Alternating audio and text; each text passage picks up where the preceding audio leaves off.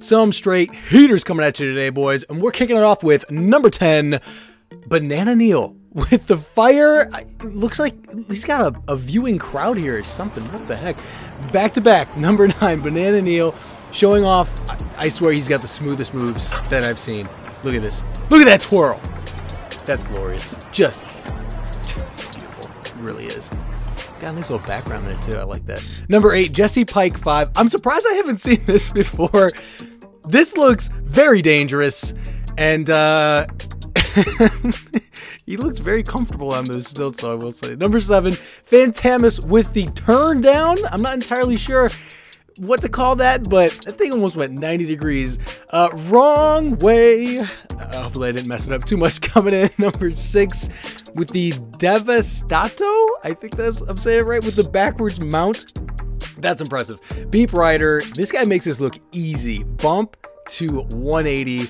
That is impressive. That is like next level. It's really cool to see as much. Okay, Fantamus again, number four. Look at the height he gets on this. Almost to the rafters. Look at his hand. He's hitting the top of that blue blue tape or whatever that is. Number three, Duca 80. Okay, this is a mad testament to electric unicycles because this video is about a year old and seeing it just destroy this terrain, this spin, that is just glorious. Just climbing these hills with no issue at all. It's seriously impressive. Goodness, look at this. What the wheel can do, this guy can't. Look at with the foot slip. I love that. The wheel's got no problem. Uh, walking it's a, a little bit harder, I think. Number two, Fantamus again back to back. Look at this with the with the pedal stand. We gotta come up with names because they're getting good and they're getting good quick. EUC Bros Shibby Time for our number one spot.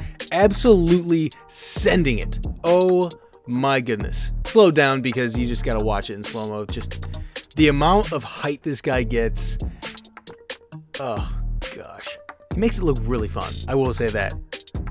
He makes it look like an absolute blast.